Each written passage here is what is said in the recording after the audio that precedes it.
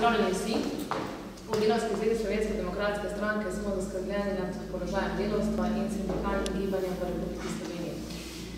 Zato se Delovska zveza Slovenske demokratske stranke odločila organizirati to javno tribuno z naslovom Nujna reforma plačne politike, veliki dobički, slabe plače, tako naprej. Ker vsi podatki kažejo, da se je Slovenija po dolgih letih le izvila iz primeža, primeža krize, pa se kljub vsemu za delavce z najnižjimi plačami ni spremenilo popolnoma nič pa bi morali ravno oni zaradi svojega požrtovanega dela to najprej občutiti.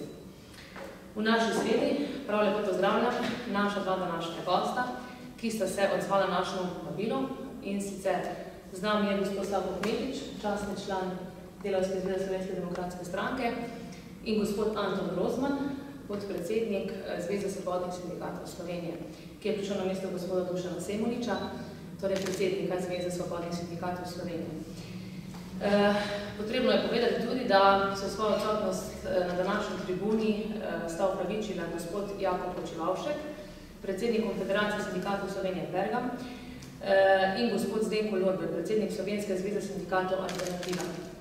Ostali vabljeni pa so še bili gospod Peter Majcen, predsednik Konfederacije 90 Slovenije, gospod Branimir Štrukal, predsednik Konfederacije sindikatov javnega sektorja Slovenije, gospa Evelina Veseljak, predsednica Konfederacije Novih sindikatov Slovenije Neodvisnost in gospod Roman Šojen, predsednik Zveze delovskih sindikatov Slovenije Solidarnost, leti pa svoj prisotnosti niso pravičili. Pa gremo kar na današnjo temo in sicer iz podatkov, ki jih je predstavil AIFAS, lahko vidimo, da je slovensko gospodarstvo v letu 2016 ustvarilo 3,2 milijarde evrov neto celotnega dobička, kar je 70 odstotkov več kot v letu 2015. No, kljub temu odličnemu uspehu pa se za delavce ni spremenilo popolnoma nič.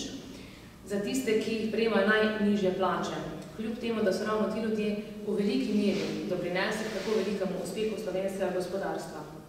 Na tem mestu pa je potrebno tudi biti posebno zaskrbljeno podatki, ki več kot jasno kažejo, da je kupna moč, ki kaže, kako dejansko v neki državi dobro državljani živijo, celo padala ali ostala na isti ravni kot pred desetimi leti. Velika večina bo seveda dejala, da je to posledica gospodarske krize, no pa naj na tem mestu izpostavim dejstvo, da so pred desetimi leti po odstotku kupne moči v BDP-ju za nami zaostali Češka, Slovaška in Estonija, za 4 do 19 odstotkov kupne moči v BDP-ju. V letu 2015 pa nas je Češka po kupni moči v BDP-ju že prehitela, Slovaška, Estonija pa so za nami zaostali le še 6 do 9 odstotkov kar pomeni, da so svoj zaostanek zmanjšale za 50 odstotkov. In če bo šlo tako naprej, nas bodo nekaj letih prehitele tudi te države. Tega pa si verjetno nišče od nas ne želi. No, prav tako kot Slovenija so se tudi te države spopadale z gospodarsko krizo, pa so kljub temu povečale eh, odstotek kupne moči svojega prebivalstva za razliko od nas. Eh, vsi se premalo na tem mestu zavedamo dejstvo, ki ga v svojem intervjuju lepo izpostavila Beverly J. Silver, ki je odraščala v Detroitu v obdobju intenzivnega delovskega boja in je tudi radikalna zagovornica delavcev celotno njeno življenje. In sicer dejala je, vekolikor želimo dvigniti življenjske pogoje za večino prebivalstva, moramo najprej poskrbeti za ljudi z najnižjimi oziroma minimalnimi plačami. No, kar pa bi moralo sindikate še bolj skrbeti, so raziskave, ki jih je objavil Eurostat, v kateri so pokazale, da v Sloveniji kar 19,2 odstotka delovk in delovcev prejema plačo nižjo od nacionalne minimalne plače. Naslednja država, ki sledi Sloveniji, je Litva, kjer ta odstotek ljudi 13,7 odstotkov. To pomeni, da Slovenija zaseda nezavidljiv vrh mestice zaposlenih, ki prejema dohodek, je nižji od minimalne plače. Uh, sindikatom še vedno ni vseh teh letih uspelo socialnimi partnerji doseči dogovor, da bi sprejeli zakon, ki bi jasno določil, kaj je minimalna plača, in da bi se preprečilo, da bi bile minimalne plače v nekaterih sektorjih niže od zakonsko določene minimalne plače, ki bi takšno anomalijo, kot je pokazala raziskava Eurostata za Slovenijo preprečili. No, zdaj pa gremo k vprašanjem in sicer najprej bom začela z vprašanjem, ki zanima mnogo slovencev. Zakaj sindikati nikoli niste ali pa niso jasno zazeli stališča, kateri politični opciji pripadate?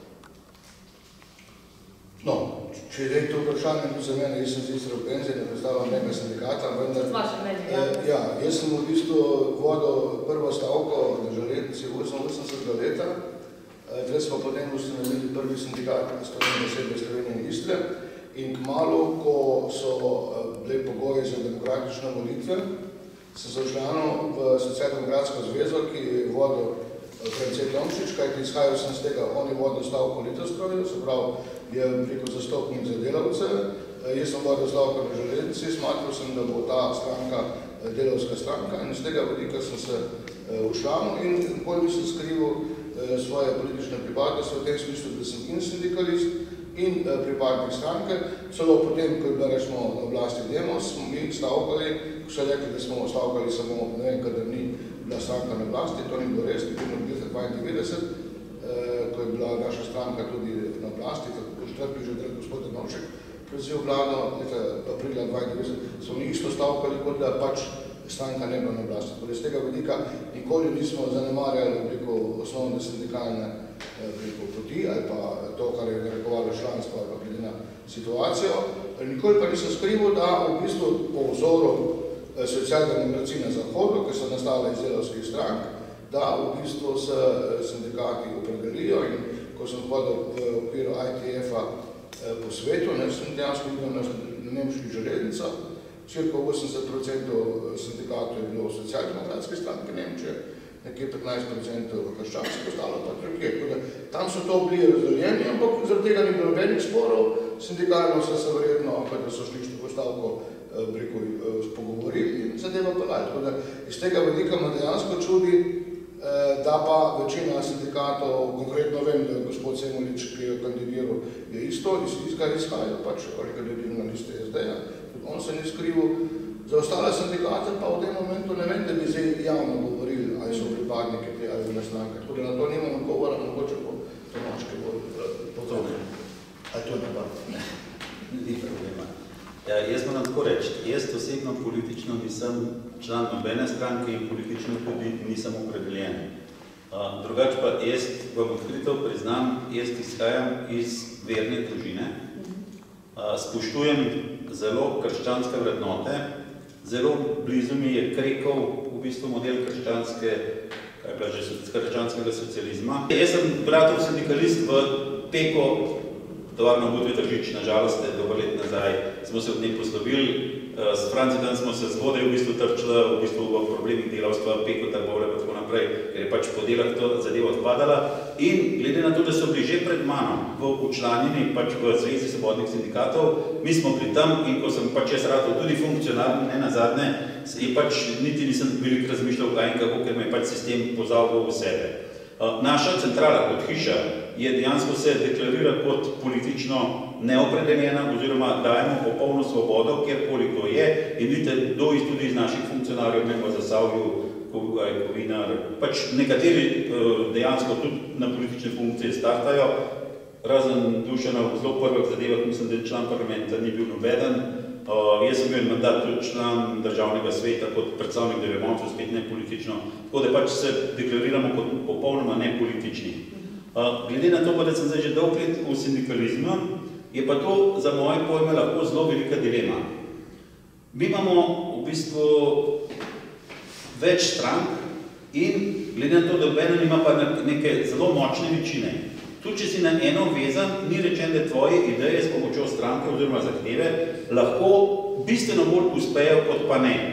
Za razliko izkušnje, recimo Avstrije, Nemčije, jaz sem bil ne, več kot deset let nazaj, ki je bil Šreder, še kancler, sem bil enkrat povabljen na kongres IG Metala.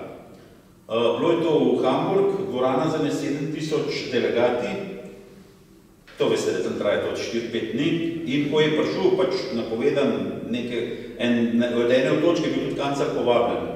To morate vi čutiti, utrip in pa sem si vsem, vsaj me jih predstavljal, ko je Hitler prišel na oblast, ko je tista masa, ne, tam je bilo sicer 7 tisoč delegatov, pri Hitlerju so jih poravnali verjetno, ne vem, 30 tisoč, ki je to začel skandirati, pa vse skupaj mislim, da je šlo zadeva tako.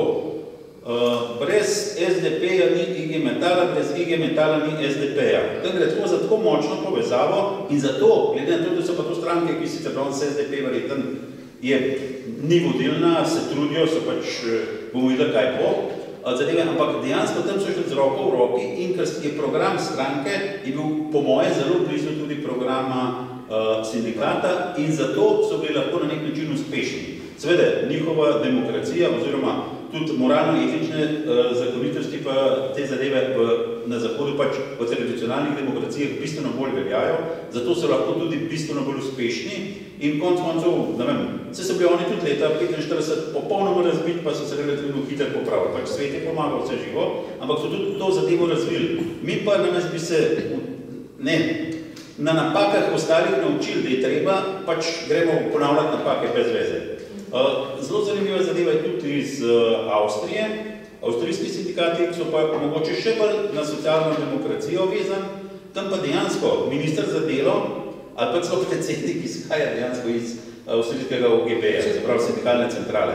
Se pravi, da, da so zgleda prednosti, da vsi In prednost je res velika tam, če bi šlo recimo tako v Amerike, republikanci, demokrati bi imeli velik sindikat, takrat, ko smo na oblasti poharano, ko ni nas pač drugi kontra, pa se to vrača nazaj. Ampak vse to, če približno enako porazdeljeno, velikih anomalij biti ne more. Pri nas je pa v bistvu taka zadeva, da so pač te zadeve prevelike in velika škoda, pač za meh na, na politiko zaidem. Pri nas sem zato, ker nisi, jaz nisem tvoj, ti nisi moj, pa tudi imaš vrhunsko idejo, super dobro, ne, ker so ti rekel, to mi ne bomo, poprej, trpimo. In Ceno tega pa ne plačajo oni tam, plača samo delavec in to je narobe. Iz tega vidite, no, zdaj, če bi samo zašli s te osnovne vaše vprašanje, ampak dejansko, če mene vprašate politika, vezati politiko da ali ne, prej ja kot ne, sam s kom. No, ker recimo vse zahodne države, ne, tega ne skriva, ne, recimo Se, ja, ampak što se v tem, da se recimo Belgici, oni se točno vežijo, so socialistični, demokratični pa krščanski. Ampak ko je treba, oni skrb stopijo, tam ni razlike, imajo v bistvu zadeve, se, pri nas pa pač, verjetno mora še nekaj same problance preteči, da bomo v bistvu tok na nek način uh, osveščeni, da bomo priznali, da je, da je to treba, no, da je to ravno. Ker konc koncev vsi smo zaradi tega, verjetno zaradi tega se nekaj gremo pa te zadeve, da bi verjetno večina se imela relativno dobro nepovska piščica. Nekaj tle problem, ker mi v bistvu še ne dojemamo to strahodno moč kapitala, ki pa je v bistvu nadstrankarski. In v bistvu je danes sindikat proti kapitalu podrejenem položaju in je nujno potrebno, da se sindikat poveže z stranko. Kajti stranka ima potem državo, ima, ima zakone, ki lahko delno to moč kapitala omeji. Te danes še birate v bistvu svetovni bankirni vodem za svet. Tako da iz tega vidika dejansko smo mi 20 let za tretji normalnih držav, kar se tiče politične poverenosti sindikatov. Problem je, da ti ljudje na nižjih nivojih, preko, ali zdaj ne vem, ali šol, ali ni zadrževanja, teh zadev, kot je zelo lepo povedal, ali pa kot sem tudi jaz povedal, ni dojemali. Jaz sem to že leta 90 javno povedal, ker sem pač zadevo poznal, kako zahodoval. No, ker recimo tudi, če bi pač sindikati ne, se politično opredelili, eh, bi tudi sami člani se verjetno sindikata lažje odločali o svojem članstvu, bi videli, kaj in kakšen sindikat pribori glede na politično opcijo, ne, ki je na oblasti. Ne. In kaj, ti, kaj si glede teme, teme misli, že leta 1836 se lahko povedal tudi William Levet, ki je bil čartistični voditelj, eh, ki je napisal brošuro, ki jo je izdal Londonsko združenje delavcev. In sicer on pravi, delavci, prepričajte se, ali je to res in potem, če čutite, da ste z nami, ne sodelujete pri nobenih načrtih in ne bojite vrode nobene stranke, ki noče kot prvi in poglavitni ukrep priznati delavcem enake politične in družbene pravice, da bi lahko pos, poslali svoje zakonite zastopnike iz vrst tistih, ki živijo od svojega dela v parlamentu, kjer bi se posvetovali in odločali za vsemi drugimi interesi, do interesov delovnih ljudi, to je tistih, ki so temelj družbene stavbe, ne bi vsak dan žrtvovali požrešnosti in razsipnosti manjšine, konec citata. No to več kot očitno kaže, da se le tako lahko, da se lahko delovni ljudje priborijo pravice le na tak način. Vse ima eno moč, ki je nujno potrebno, ker živimo v krutem svetu, ne? ker moč argumenta je premalo, rabiš argument moči. Ne? To pa je možnost stavka ali pa obliko preko politične stranke, ko se želi kot naponavlja. Če sam v bistvu nazaj pogledamo, dejansko kapitalu gre izredno na roko, da se mi dobimo in da članstvo upada, ker potem bistveno lažje manipuliraš. Če sam pogledamo, ne vem, pa takrat je bila v bistvu stranka SDS na oblasti, ko je zveza organizirala velik protest proti enotni davčni stopni. Takrat je bila v bistvu verjetno v največji možni meri izkazana nek način strani, recimo ene centrale, relativno visoka moč, da smo bili v stanju v bistvu uh, zanimirati široko delovsko množico in je bil tudi uspeh, delovska v bistvu enotna davčna stopna ni bilo. Uh, to se pravi, in ko mi to probamo, se pogovarjati pač z predstavniki uh, sindikalisti, s člani, jim to povemo, ampak, mi to povemo, razložimo, kako se živo. Ampak danes, nažalost, admin imamo in nas treba zamenjati, no problem, ampak tega naboja na nek način ni. Jaz zastopam, da v času krize so na nek način ljudje se izredno bali za delovna mesta. In takrat je delovno mesto še danes je prednota, ne narobe zastopati. Ampak vse je zdaj bistveno lažje, sploh pa uh, lažje je za tiste, ki priden pa delovanje. Ker tisti danes dobi verjetno v eno tedno službo, uh, sicer mogoče ne po svoji volji, ampak jo dobi, ker jaz vidim, da se podjetje že kradijo delovce tako naprej. In ustrajati na tiste pozicije, kriza je konc, zadeve so se spremenile, treba je svoj del kolača vzeti, vzeti, dejansko izsilka, presiliti nekoga. To je eno namenov današnje. Ja, se je, se štima, se gleda smo si verjetno zelo podobni vsi bi ja, to nujno potrebno, to spoznanje bo moralo delati slej, ko prej zakupiti, ali pa socialni revež v centru Evrope. To so ja. kruta dejstva. No, je pa zanimivo tudi to, tudi to smo že prej malo načeli, eh, da koliko bi v razvitem svetu, katera od političnih opcij želela doseči, kakšno so glasi sindikati, tako kot je ta korak, recimo, stojano tribuno stila delovska zveza Slovenske demokratske stranke, ne, bi sindikati z veseljem nekako pristopili k sodelovanju. Pri nas pa se sindikati temu izogibajo sodelovanju ne, z našo stranko. Zakaj? Ker smo desna politična opcija in pri nas velja, da desne politične opcije ne veljajo socialne, kar je popolno neskladje. Ne. Zdaj verjetno vsem tem, ki se strinjajo s to teorijo, premalo znano, da je ravno Slovenska demokratska stranka nastala iz Socialno-demokratske zveze Slovenije, ki pa je ustanovila delovsko ljudstvo. Ko so se leta 1987 v Litostrojski stavki pod vodstvom Franceta Tomšiča oprli nerazumno nizkim plačam in težkim delovnim pogojem. Tako da že to kaže, da je desna politična opcija lahko še kako socialno smirjena. A se tudi, tudi desna levo v Sloveniji nima tiste prava teža. Ne? Tako da mi, mi v bistvu desna opcija se pričakuje, ko je opcija kapitala. Ne? Ta slovenska demokratska stranka nikoli ni do opcija kapitala. Tako da iz tega vidika lahko smo desni glede, ne vem, družine. Mi smo zagovorniki družine, mi smo zagovorniki, ne vem, poštenje, pravice, levo, desno ali pa brikoniških davkov. Evo, da smo, absolutno, mi zahtevamo nižje davke in če, če je to zdaj desna opcija, sem hvala Bogu je desna opcija. Ne? Praviloma leve opcije eh, više davke, če, če gremo na to. Ampak v Sloveniji to zelo, preko, kot je že rečeno, glede našega eh, volilnega sistema, je to tako preko neizrazito, še ker je tukaj kolik strank, pa v bistvu se to sploh v parlamentu potem Leva opcija je mogoče združena levica, SD dejansko je v bistvu neodgovorna stranka, kot je bila LDS, Tako da je zelo težko govorimo uh, in... Le, leva opcija je za mene tista, ki se zahteva za, za, za ozema za čisti socializem. To je pa zdaj žurnalica, ki govori o Venezuela. Venezuela je njihov vzor, ja. Ki je super. Ne? Nik Če Guevara pa e, Castro to. Ne, tako da ostale stranke se pa v bistvu stavijo, ne, stavijo iskrene ne? na liberalne vrednote, na demokracijo, svobodo tržno ekonomijo, tržno gospodarstvo, svobodni pretok ljudi kapitala, ne? kar pa zopet glede na naše preko delovstvo, ki v teh zadevah ni dobro podočeno, ne pomeni, ki je bistveno. Ne? Te pravilama, da tebe plačajo pa službo, ampak kako pa za te zadeva deluje, kako do tega prideš, je pa že druga zgodba. Mislim, da mogoče tako prej gospod Rozman rekel, ne? da bo treba preseči levi desni, ne? ko se gre pač za neke skupne cilje, ne? za dobro vseh. Važna je vsebina. Vsebina pa pri upoštenju v tem smislu, ko mi se nekaj dogovorimo, potem tudi ta stranka to v parlamentu zastopa v obliki zakonodaje ali karkoli pač. No, če lahko sem eno podnazoritev. Žan Mahmič je vaš poslanci iz Žirov. Uh, jaz sem bil zelo presenečen. Men, jaz sem dobil ne par namreč grozilnih pisem, pa zelo grdih pisem, ker jaz izkajam iz peka. Tržičan sem. Mhm. In sem dobil pač od ljudi, zakaj se nisi eksponiral v Tržič, v Žirek si se pa. Izredno preprost. Tam je bil naboj delovcev, ker tam je pa firma še zelo dobro delujoča. Eh, v, v bistvu tudi domačini jo žiri so prvi v Ljubljana, če tako gledamo. No?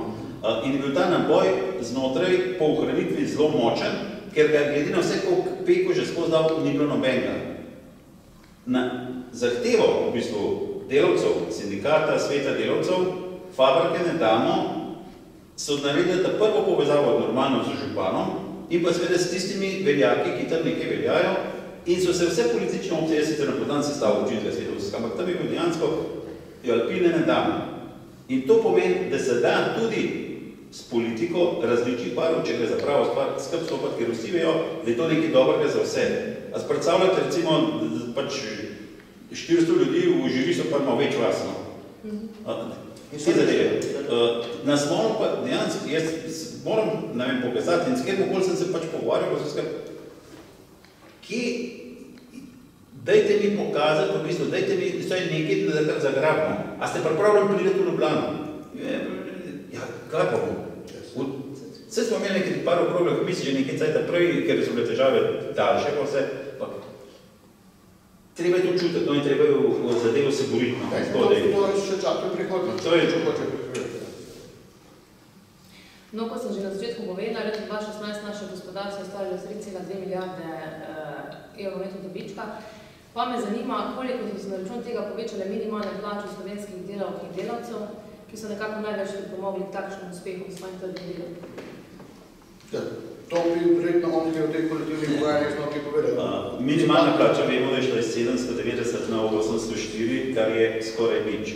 Ampak glede na, pač, na formulo, verjetno, ki se izračuna, pač socialni partnerji se pogovarjajo, ministrca za delo odloči in določi višino minimalne plače. To je dejstvo, da ni šla kaj več gor, ali pa kaj, jaz mislim, da je, pa ni dobro, da bi šla minimalna plača bistveno preveč gor.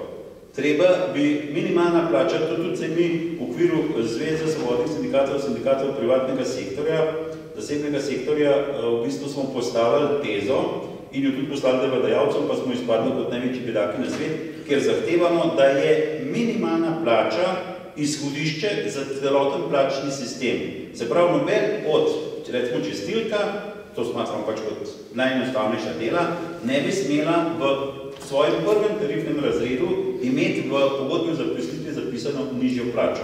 To je sicer dolgoročni proces, čez noč ne moramo, ker to res potegne za sabo enormen dvig plač, za katerega ne moramo reči, da, je, da ga, ga ne moramo ekonomsko upravičiti. Ampak pot je pa prava. Zdaj, zakaj v bistvu se to kdaj čakal? Zakaj te zadeve ne? Predvsem strani delodajalcev je bila blokada sploh do pogajanja, da se vsedemo za mizo o tarifnih delih, ker skozi so rekli, pahor še takrat, je minimalna plača res veliko skočila, se vam je pahor takrat dal, ceno se še zdaj plačuje in če hočemo linearno naprej, moramo mi povečati, v, v razmerih povečati tudi ostale plače, zato pa še zmeri ni prostora.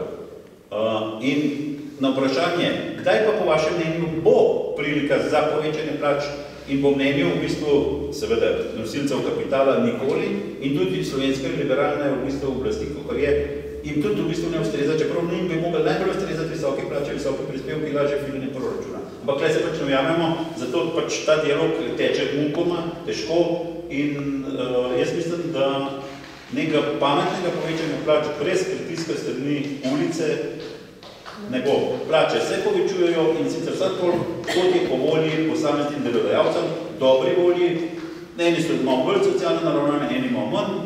V bistvu bo vsak reče, se dam, se marsi to da, recimo Boxmark Hidričov, to je podjetje, delovno intenzivna dejavnost, od 2000 zaposlenih, je verjetno 1800 žensk, ki pretežno štancajo pošivajo. Enostavno, relativno enostavno dela po vse. Pa meni direktor lepo reče, pa še predsednik združenja delodajalcev je, Pravzaprav se po nas je v redu, pogledajte, v zakonu je tokle, mi damo tokle več, imamo to, to in to, kaj bi vi še radi? Ko mu rečeš, a se vam zdi pravično, bo se se Ja, veste, ko boste dosegli, da bo to to, ko boste spet nekoga imeli, ki vam bo kar dal, pa vse skar bomo mogli dati, ali pa bomo razmišljali, da gremo iz Slovenije ven.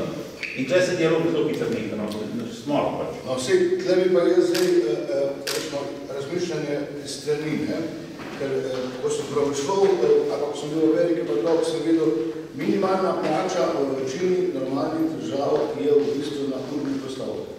Mi imamo na mesečno na voljo. Že s, s tem, ko se je to, tiste zdaj točno ne vem, kdaj je bila minimalna plača za zakon spreda v Sloveniji. Je bilo tudi ne res nekaj, da.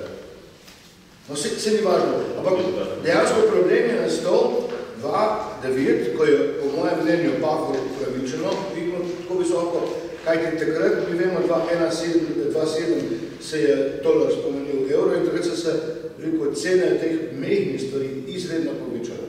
In to za vse države zahodne, ko so šli več po Nemčiji iz marka na evro, ali pa kjerkoli so se zavedali, da bojo kava je šla pa iz 50 dolarjev, pa 100 dolarjev, kad nekaj ne evro, se pravi se 300% vložila. Jabolka iz 50 dolarjev na 50 centa, pa karkoli.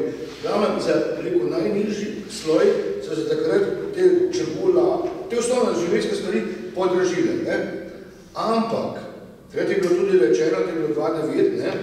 da je pa nujno potrebno zajeti v pogajanja socialnih partnerjev, da bo tako, kot je rekel Tone. Ne? Se pravi, minimalna plača kot taka je zdaj veliko osnovna, ker je ta minimalna plača je šla potem, je zasedala peti tarifne razred. To je pa v bistvu... Še po nekaterih v bistvu se refa predaj tudi šesti tarifne. To, to je pa zdaj, če mene vprašam, kot starega sindikalista, pa pa se eno nero totalna katastrofa. Da smo mi preko z enim gibom zakona ne, naredili uravnilovko in 100 tisoč ljudi a ni važno, ali smo v šolo, ali delaš preko visoko tehnološko delo, ali delaš za čestilko, isto plačo. Še večja grozljivka. Od šesti do dveh, od ponedeljka do petka, minimalna plača, eden ko dela v turnusu 24 na dan, ista plača. Zadnji primer mi prav zdaj kolega iz Radeč, Muflona, žena pa zdaj imela 40 letnico njegova, dobila je 90 evrov povišice, fiktivno, dejansko pa nič, ker ima osnovno plačo tako nizko, da še ni prišla na minimalno plačo. Skratka, to je tako grozljivo pereča tema, da je ta današnja, rekel, okrogla miza izjemno aktualna eh, glede na situacijo. Prvič imamo tle zdaj 3 milijarde evrov dobička slovenskih eh, firm, ne, pa rekel, ta totalna, rekel, destruktivna ali pa ne vem kakva situacija v plačnem sistemu, ki popolnoma demotivira zgodbo. Skratka, Slovenska demokratska stranka je po zaslugi Delovske zveze sprejela resolucijo, ki govori o minimalni plači na urni postavki. Zavedam se, da je to tektonski premik, zavedam se, da je to začetek poti, ampak na to moramo jeti, ker mi, kot še že rekel, vse države to imajo, mi pa to ne. S tem, ne, da pa če gledamo zdaj Nemčijo nazaj 30 let, ne, dejansko je bil potem dogovor socialnih partnerjev, da tiste firme, ki ta minimum ali pa po kolektivni pogodbi spogajala izhodišna plača niso dosegale, je država iz proračuna z posebnih fondov pokrivala plače teh delavcev do tega nivoja. Ker mi se moramo v tej državi tako razumeti, ali je delo vrednota. Če to vsi skupaj govorimo, da je, potem je nadaljevanje, da delo mora biti tudi plačano.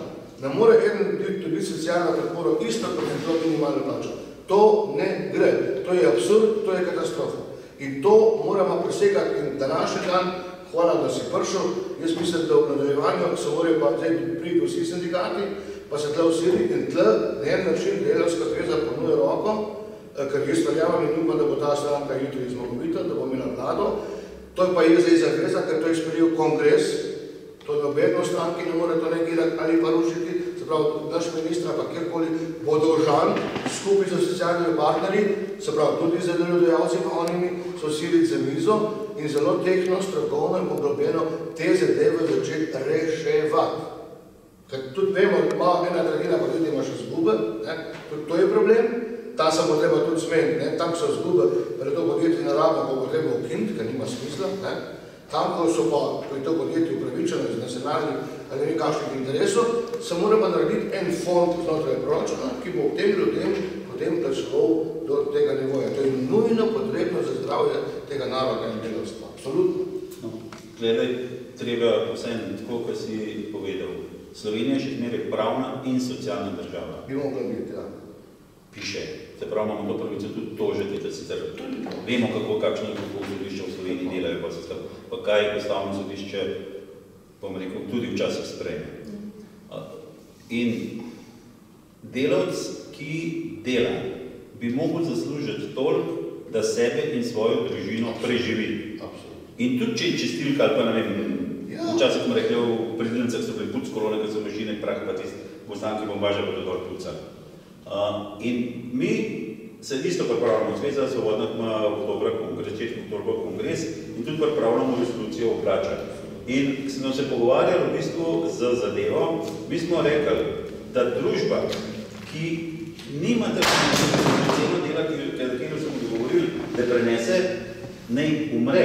Ni problema, ker delodajalci imajo zelo velikrat nas za izgovor, ja, veste, sej mogoče bi se kaj dal, ampak veste, unika ne morejo, bojo poj crkne. Ja, crknejo naj počas. Ne more, ker tist management, ki ni v stanju iskati, ker delavca znajo šrabe, pa šponat od njega kumulacijo pobirati, ne zna pa naterati ali pa zaposliti svojih razvojnih oddelkov, v bistvu tistih, ki dejansko bi mogli, ker so in srce fabrike, ker konc koncev se to vsi poznamo. Tisti dan, ko nehaš gledati na razvoj, začneš propadati. In se šlipat kar tako, da nekaj še delaš po inerciji. Pa tudi tisto, kar smo bili večkrat, še prošle sem pisal za kakšno podjetje, dajte pomagati na tretje. To v bistvu v času konjunkture pa vse skupaj podpade zadeve, propadne, kdo drug bo pobral to in ljudi pa bo pač to bo tesno kapital naložen, da boš njemu crknu. Ni problema. In što se bo temu, če gledamo, se to so pač post uh, v bistvu spremembe, ko smo ekonomski pa politični sistem menjali, uh, če smo čisto odkriti. Pri nas, jaz pravim za tekstil, ki ga bomo bolj poznam, ki so me velikrat sprašvali, kdo je to kriv. Krive so uprave, pogoji so bili za vse približno enak, ali pa za vse enak, kriva je pa uprava, ker če smo celo svojo kožo postavimo, recimo, ne vem, kjer sistem rečemo, kjer lahko, tudi peko lahko, ali pa beti, ali pa, ne vem, tekstilno, ki je mnogo propadalo. Bi predsednik uprave, ki mu še 5000 ljudi more, ima enako plačo, kot kar prej ne propada. Kaj? Oni, to bomo, to bomo, to bomo, pa smo spet zadihali, pa dobili, to je trajalo deset let, ali pa še več, in on se je lepo postavil, pa se je to vrko. Narobe. Tisti, ki za umret, koliko pravijo, mi smo velikrat rekli, če imaš gangreno, ne, ta prvi tore razkriješ, na koncu imaš celo roko, da ti pri živo verjeten. In tlele bo pač treba menjati to osnovno filozofijo in v Sloveniji, če pač ta zadeva ne bo šla, bo določen, določen tip, določen vrsta proizvode pač ne bo več v Sloveniji. In bom rekel danes, nekatera tekstilna podjetja pa enako, tudi v konfekciji, dokazujejo, da se da ni sicer nekih vrhunskih dodanih vrednosti, ampak še dvire parirajo in za določene, ne vem, če gledamo uh, v prekmurju, kakorkoli zdaj se mura Arum, ki zdaj mura, ki dela po stečaju, v bistvu postuje pozitivno kljub tem povojem, ampak neke velike akumulacije ni.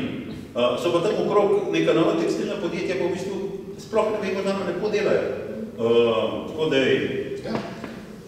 Je, in tudi, ne, se, ne neka primarna tekstilna industrija. V bistvu, jaz sem bil prejšnji teden v Maribor, A&D, bivši TSP Maribor, ima v bistvu dodano vrednost blizu 40 tisoč evrov. To so v bistvu ustvarjajo dobro akumulacijo. Tako, tako da se. No, je pa tudi največje mislim, tako bom rekel, ker se poslovodinje tiče, dejstvo je, tam so na potezi uprave oziroma management, lastniki, Glede na to, da je pa marsikaj še država lastnik, ki je slab lastnik, oziroma ker vemo, kako je vse uh, pri nas na nek način koruptivno, klientizem, nepotizem, pa take zadeve, to nas bremza, ampak vse bo tudi treba spucati in uh, teh zadev no, sam. Tle moramo, jaz sem nekaj bral poročilo Svetovne banke, ne, za leto, ne vem, 2000, ker sem bil še aktiv, ne, je pisalo o vodoma, ni zdravega gospodarskega razvoja brez močnih in strokovnih sindikatov. Če to reče glasnik kapitala, ne, pa to že drži, vse oni verjetno izhajajo iz situacije Južna Amerika pa iz Banana republik, ko so devali ogromna posvila, pa so vsa ponikla zaradi korupcije. Tle, če je kaj moja zamera v tem momentu, ne, da dejansko sindikati v tem momentu niso sposobni prisiliti za močjo sindikalnega boja preko teh delodajalcev večjo plačam, še huje, po mojem mnenju, pa da tle sindikati kot močan stebr civilne družbe nič ne okrepajo proti tej glazni korupciji, ki načujete državo. Tle bi pa, po mojem mnenju, morali bistveno več narediti ali pa rekel, s, ker jaz nikoli še nisem slišal, da bi imeli protestni shod, ali pa da bi rekli, evo, evo, bankiri 5 milijardna lukov so naredili, pa zahtevamo od pravne države, da je preko rec prav. To pa sindikati ne delajo, to pa jim oteče.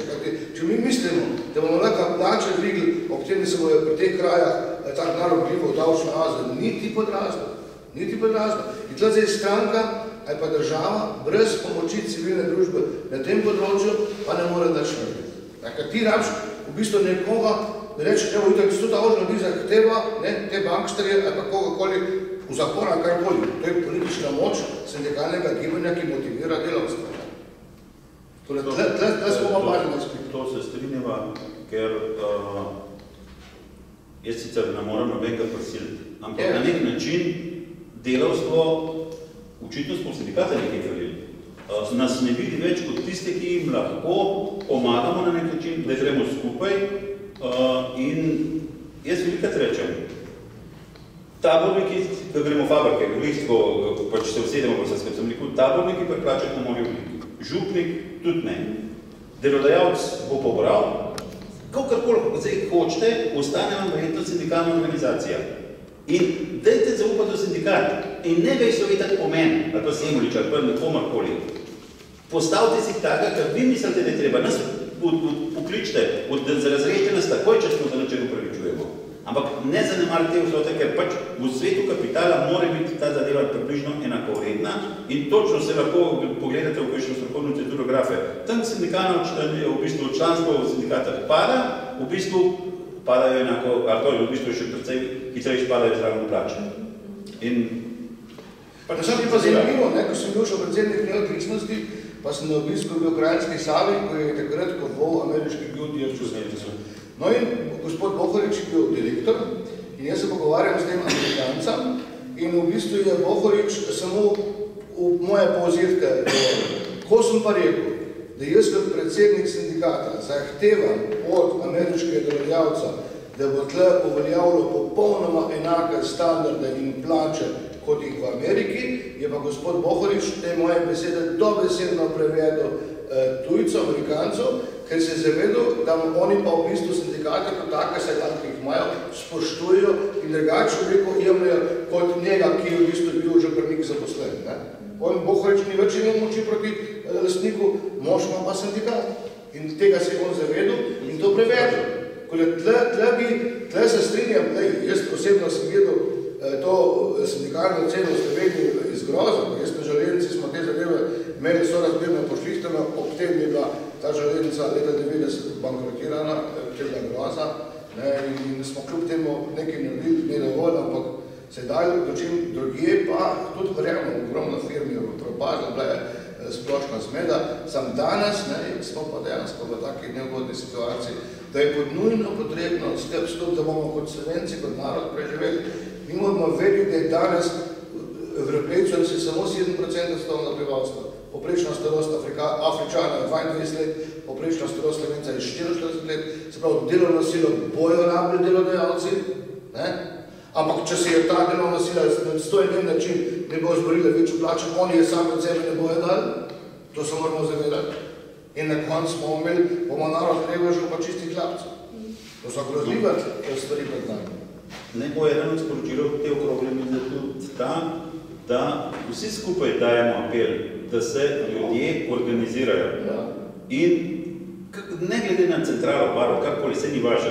Važno je, da se organiziran in takrat, ko je skupen apel, sej eh, v bistvu sindikalne centrale relativno dobro sodelujejo eh, zadeve. In takrat, ko je, in če kdaj je ta moment, je zdaj ta moment. Mi bi mogli v bistvu zasest Ljubljano in upozorilno protest Ljubljana, potem pa generalni štrajk, da se lastniki kapitala zavedajo, da je za res z jasnimi zahtevami, kaj v bistvu hočemo in nadaljevanje, da se to ne bo razničilo. Hočemo, zelo enostavno zadeva, kaj hočemo. Hočemo samo pošten tisti del, ki smo si ga zaslužili. Nič več nočemo. Mi hočemo samo ravnovesje med delom in kapitalom in če je neka stara formula inflacija plus polovica produktivnosti, ta del bi se, je diskutabel, recimo, če je v Nemčiji polovica ali pa kaj taka, je lahko prven za začetek 35% produktivnosti in pa ko razvino dajo, še kome inflacijo dajo, oziroma pravijo, da, je, da ni prava, pa tako naprej. In to se zadeva, po mojem globokem prepričanju, se bo zadeva začela lomiti odnosno pozitivno premikati, ko bo, če bo parlament sprejel urno postavko zakona o minimalni plači. Tle bodo potem tako tektonski premiki in tle bodo pa sindikati pripravljeni, da potem z svojimi kolektivnimi pogodbami dejansko to zgodbo, ki to bo potem pa res minimalna plača, ne, nadgradijo z kolektivnimi pogajanji in s temi tarifnimi sporazumi, da bo potem, da ne bo uravnilo, ampak da bo v bistvu ena ena normalna. Tle, tle upam, da, da bomo najti skupni jezik eh, in se skrb posedili, pa to začeli v tej državi delati. No, eh, prav tako pa veliko raziskav Eurostata kaže, da smo po višini mesečne bruto minimalne plače pred vsemi eh, skoraj naštetimi državami, ki sem omenila prej, po kupni moči pa nas te države zahitevajo, če ne že prihitevajo. Ne?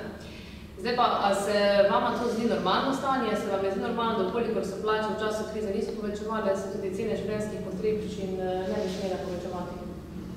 No, se, ta, ta smo to ti verjetno bolj veš, to še deluje zdaj ali ne? Glede na cene grejo plače, pa. Zadeva uh, plače, jaz lahko govorim predvsem za realni sektor, za zasebni sektor. Plače v realnem sektorju, bodimo odkrit, rastejo zaradi tega, ker imamo še zmeraj dodatek za minulo delo, 0,5 na leto, se pravi, to definitivno upoštevajo. Potem so se nekatere dejavnosti za neke minimalne procente dogovorile, ampak to za dvig najnižjih osnovnih plač. In če je osnovna plača 450 evrov, pa jo dvignemo za 2,6 procentov, je to številka 2,8, 10 evrov, kje se kjer to pozna, ob tem, da so tak plačni sistema, da če se najnižja osnovna plača dvigne, jaz imam pa še klede tokle od tega plača, tokle, ne, ne, imam še možnost kot menedžer, kot direktor, da kreiram sam gibljivi del plače, uspešnost. In rečem, dragi kolegi, zanimivo, mi imamo eno podjetje, ker mesečno vežejo višino gibljivega dela za delavce na EBITDA. Pa kaj se mi delavce zlane, kaj EBITDA? Bog živ na nekaj to. In seveda, to ga zračuna direktor, pa računovodja, pa še to, ker enkrat rečeš, aha, izdelek je sicer že v skladišču, ni prodan, se pravi, ni realizacija, se pravi, ne more biti visok, dragi kolegi, ne bo povišanja, še malo bomo škodali, čeprav smo najnižjo osnovno plačo povečali, ampak bo pa izplačil ta mesec. Mislim, take, mislim, do tako anomalij prihaja. Zato je v bistvu, se prizadevamo v bistvu za plačni model bodoči, da določimo dejansko ceno dela za tipičen, recimo, poklic, razred karkoli, kjer ga mora, recimo, koli.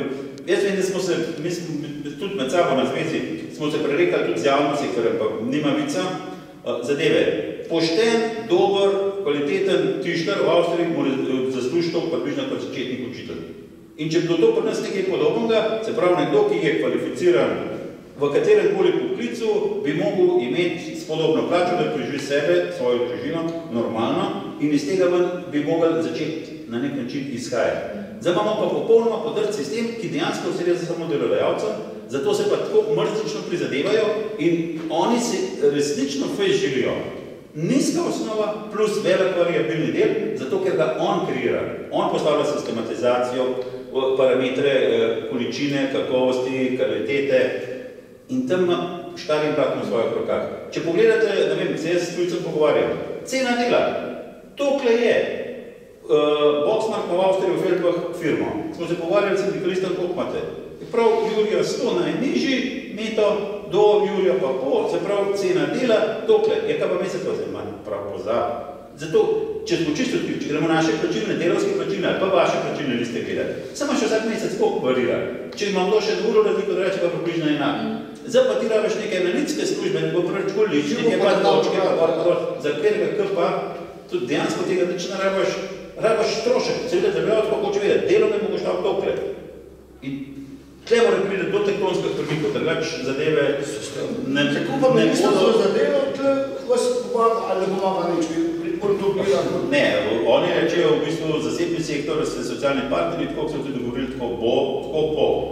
Ampak tlele v bistvu na nek način, uh, jaz mislim, da je ta zadeva napaka in tle res, uh, tako kot si rekel v štartu, tlele politika lahko kaj naredi. Ker politika, lahko kako gledamo, se mora postaviti, za, ker pač politiko smo ljudje, ljudje jo sestavljamo in se mora za ljudi postaviti. In mi moramo od Jaz večkrat rečem, zakaj pa, oziroma v socializmu smo se bil, koliko vas je, nekaj vas je precej mlajši, no. Jaz sem se še učil v bistvu, država je aparat nasilja, ki pa tako naprej, se poznate te zadeve. Uh, zadeve.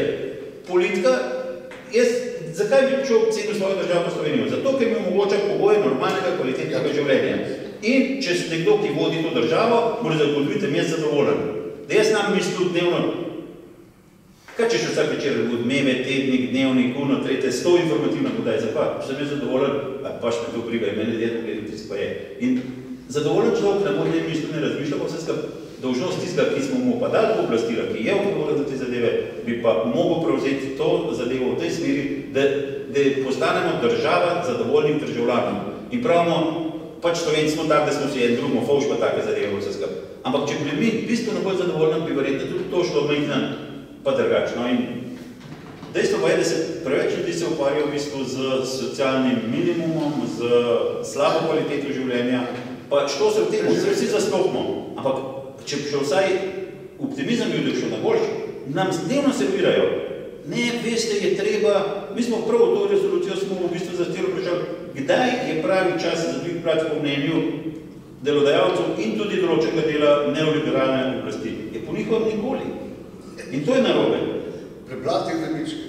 Ja, ker je 70% so se povečali dobički iz 2016 na 2015. Pa ni komuništa, da bi oni, da smo del tega sami od sebe dali No, moramo pa, ne smemo biti popolnoma krivični. Verjetno so tudi delodajalci, ki so pošteni, ki cenijo in ki vejo, da je njegov dobiček od določen del, ampak tako je relativno malo, uh, ne moramo pa reči, ni No, nobene. poznamo Akrapoviča, varilec v Akrapovičovi firmi dobi 1500 evrov neto. Poznamo osebno, ker imam tam mlado, ker imam zaposlenka in mi to povedal. Tako da ena firma vsaka jim čas, ne. ampak nažalost je premalo.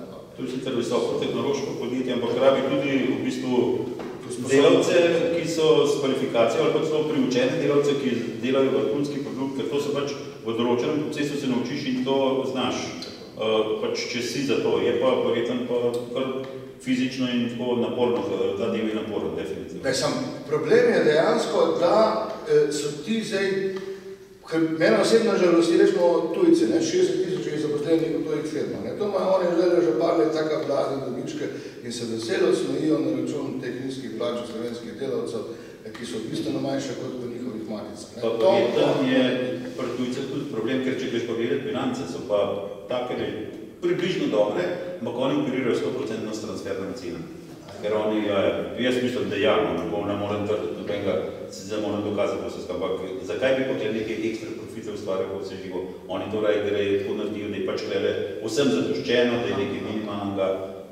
To je moja osebna cena, ne, ni to, ne morem to zdaj dokazati, no, Ja. da je to tako, ampak tako bi verjetno to pričakoval, se zakaj bi pa prišel dol? Zakaj grejo pa naši to poslovno, če smo čisti odkriti? Ja.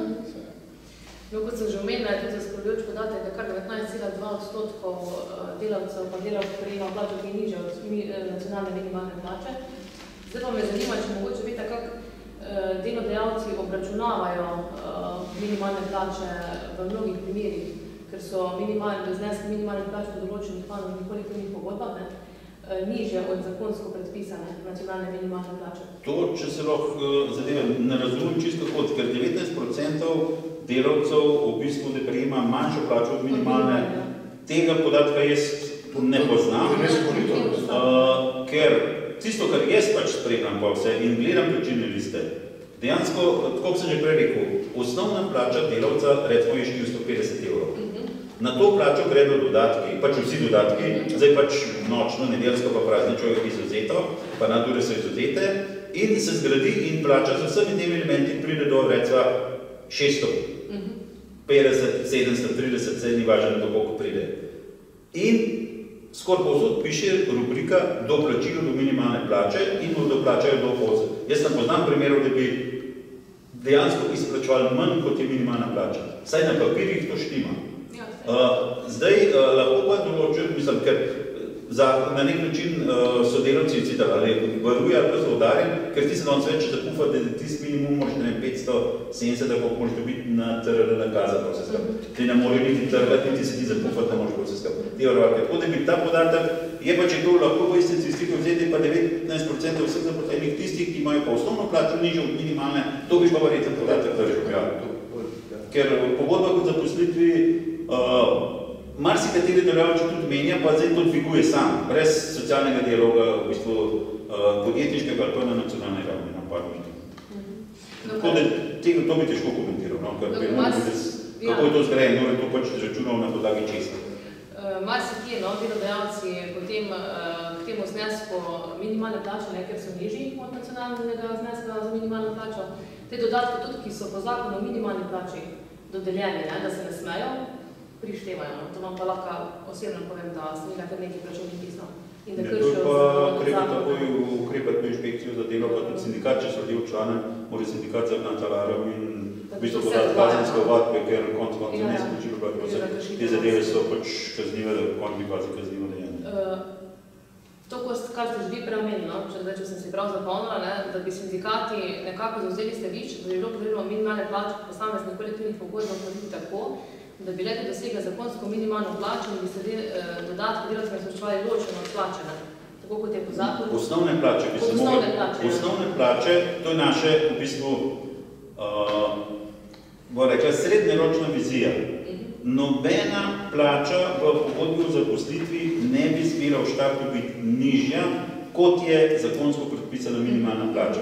Se pravi, čistilka bi mogla pisati, osnovna plača za znaša 805 evrov in naprej. Na to gredo dodatki, na to grejo pogoji dela, na to pač tisti dodatki, ki, ki, ki se jih dogovorimo. Ja, ja. Danes se pa pač temu zakaj pa, zakaj pa vi noče biti na, na burno postavko? To je pa moje naslednje vprašanje. Ja, uh, dosedanji sistem, mi smo se za kolektivno pogodbo, to lahko rečem, za tekstilno osnarsko predelovalno dejavnost z Slavi Pirš, ko smo se pogajali, ker je pač ekonomski del uh, nasprotne delodajalske strani, smo prerekali, ker če gre na urno postavko in polni delovni čas je lahko od 36 do 42.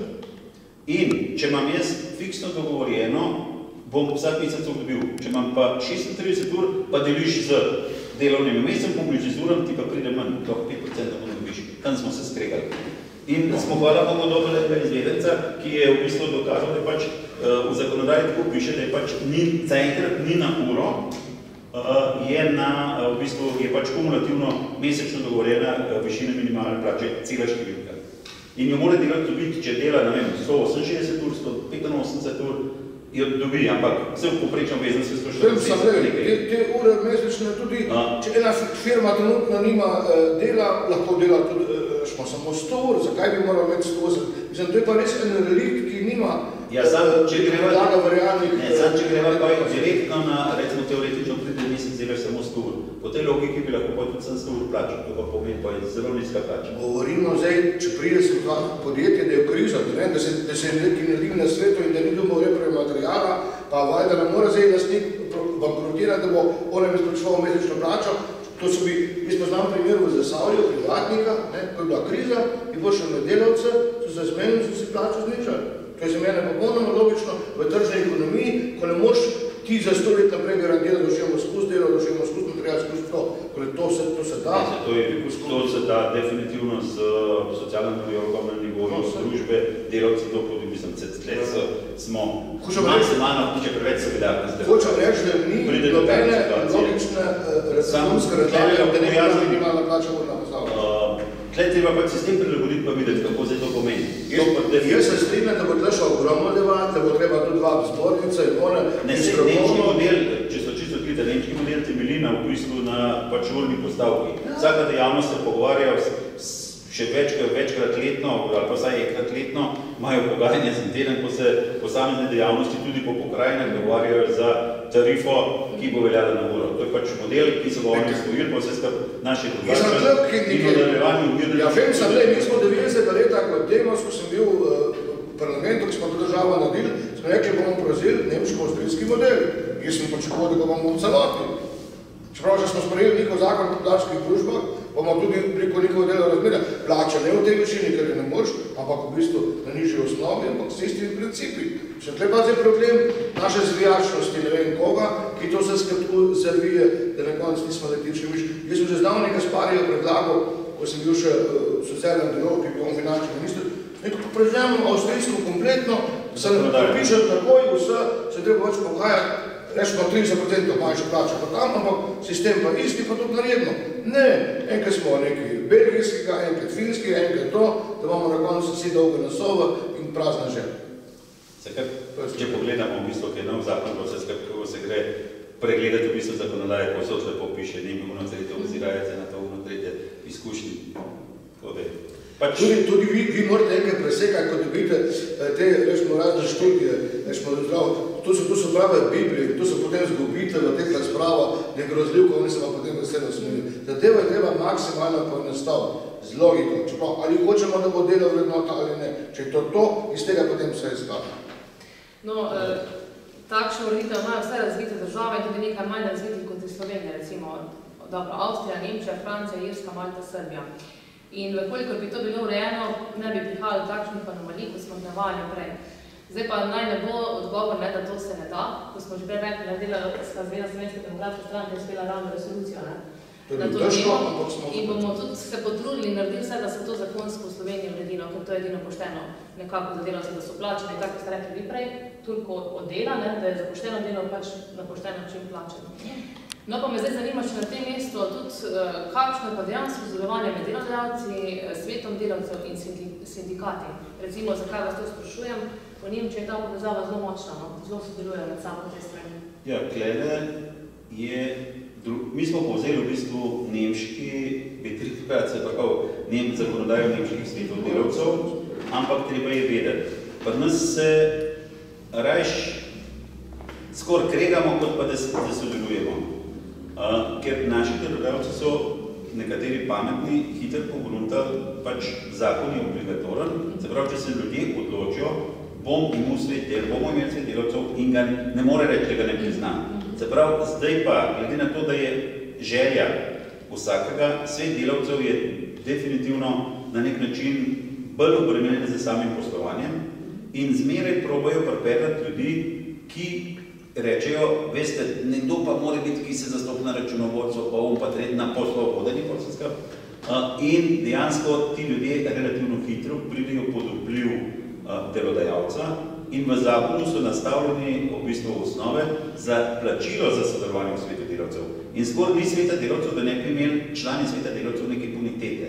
In direktor pameten, pameten, bo hitro rekel, veste, jaz bom dal še nekaj več, ampak mi se mi predstavljamo v bistvu eh, poslovanje, pa se trudimo pa vse skupaj. Pustite vi sindikat, on sam hoče sam plačo, vi pa le zastopite, da je plača treba zaslužiti. In klele pride hitro do razkola. Uh, in to je v bistvu pa treba biti na obeh stranih, in sindikalni in uni, to pameten, da si zaupaš. Jaz grem tam, ko imamo pač, ker imamo svete delavcev, gremo v fabriko, pa da ne cajta ni bilo. Prvo, ko pride sindikalista, daj mi povej, kdo je tvoj kolega iz sveta delavcev, predsednik, imaš svoje ljudi v nadzornem svetu.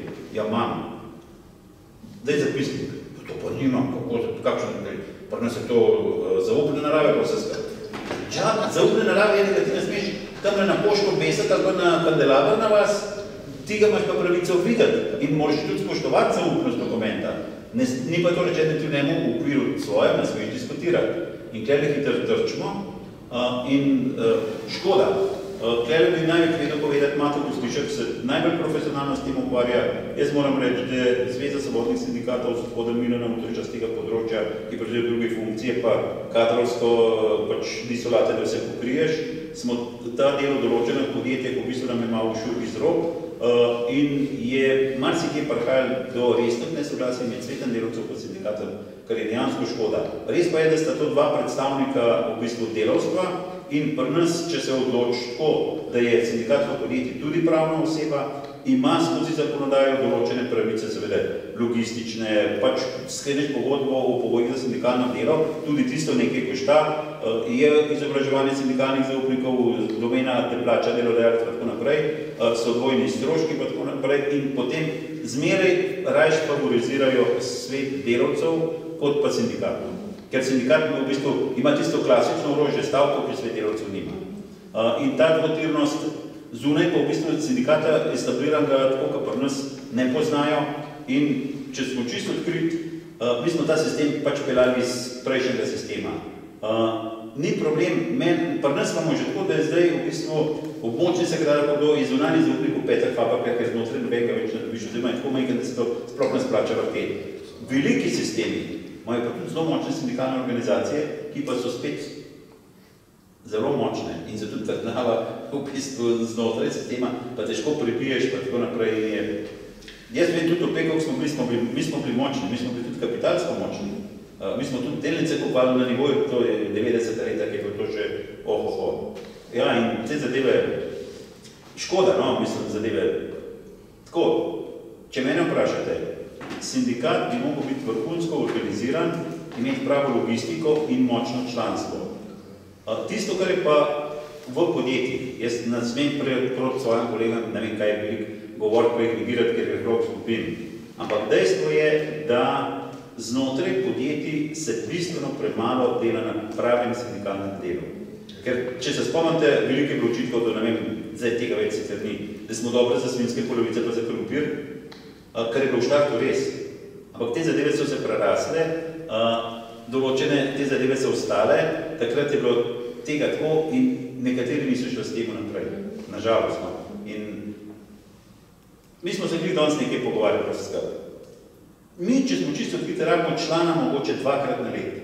In to, da takrat, ko ga pozovemo, da bo ali se ustavil ali pa prišel na shod, pa bomo plačali bus in semič, bomo kupili pa vse živo, sam, pa neč tebi treba samo prid, da bomo videli, da smo v stanju skrb zbobnati neko zavedljivo maso ljudi, ki bo svojo voljo izrazila.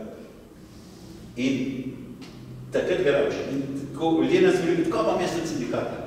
Je, če še direktno z metra mirt, daš, ne vem, en procent od bruto plače, koliko si pa dobil?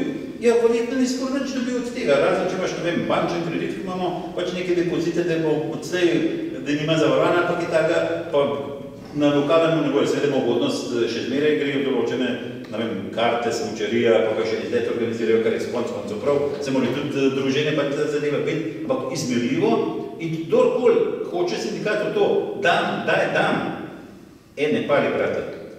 V zavarovanju vsi imamo avto, ker ga moramo imeti zavarovan, ga hiši imamo verjetno tudi zavarovan, pa vse skupaj, pa Boga moli, če tam nas gori. Ampak si se zavaroval. Tudi sebe treba na nek način za moje pojme zavarovati, zato da imaš nekoga, ki se v tvojem imenu za tvoje dobro bori. Ampak to prebiti pa vse skupaj. Jaz velikrat rečem, škoda, ki ni štrukla.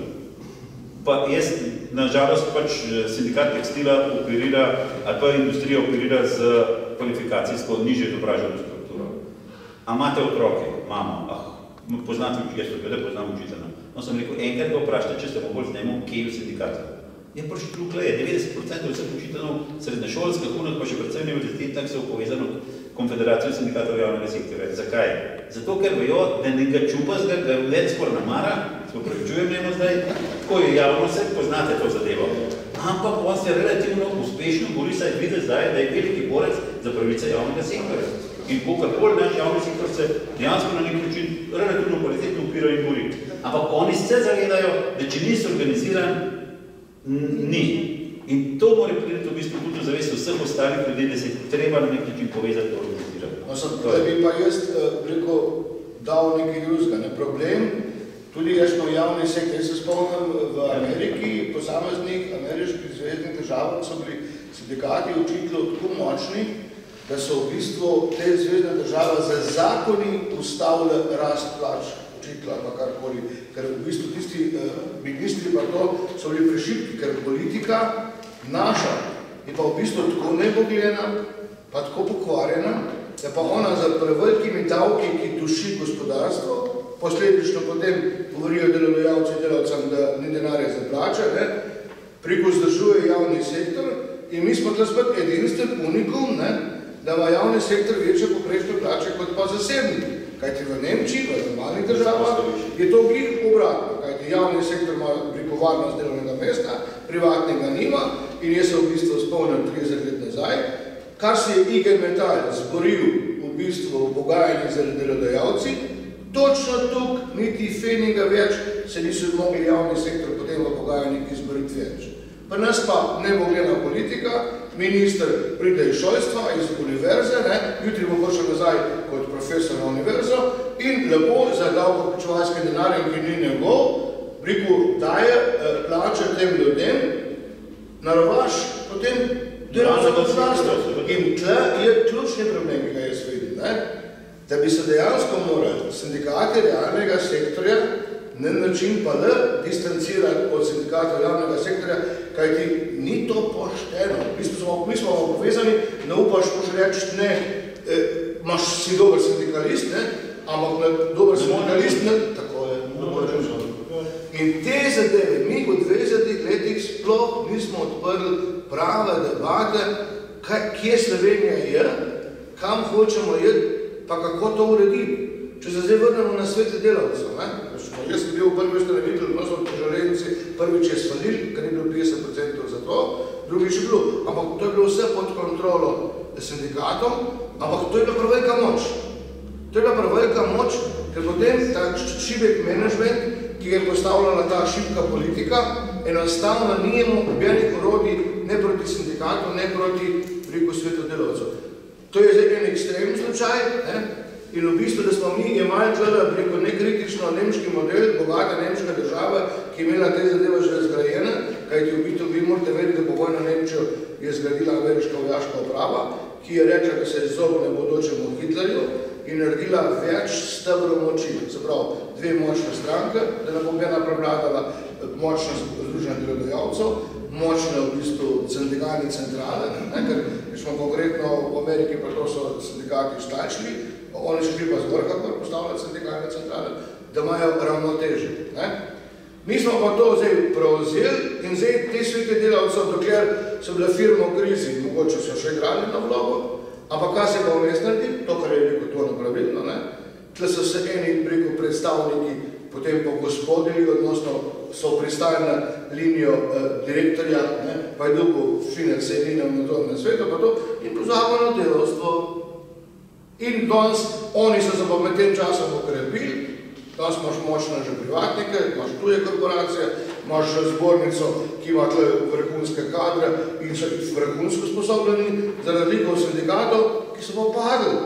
In to je grozljivo neravnoteže, ki je v tem momentu v tej državi prisotno.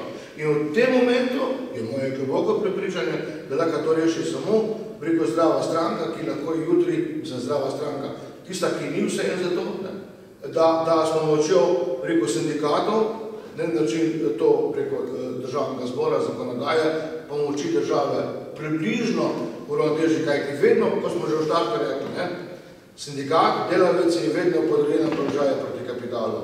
Mičko si lahko zboriš to, da, da imaš pomoč države. To pa pomeni, ko smo že pregovorili na ponovno sindikat, stranka, socialdemokratska, kjerkoli, da si s tem vlečeš moč. Ni, ni druga. To je najbolj naravna logika eh, tega sveta, ker tisti, ki smo kapitalno v bistvu vse, ne, je to vidimo, kaj še migranti prihajajo na račun kapitala. Se to ne prihaja sami sebe, ne dojim, deva o žepe po 5000 dolarjev, da nam zelo osvajajo Evropo. To je to. No, da pa vedno lepo izgovor, da so v Sloveniji na tem področju in da narediti veliko, ker je delo zelo obdavčno, lahko vidimo iz raziskav, da imajo države kot so Avstrija, Nemčija, Belgija še večjo obdavčitev kot pri nas, pa kljub temu vse raziskave kažejo, da je pri njih kupna moč veliko večja kot pri nas.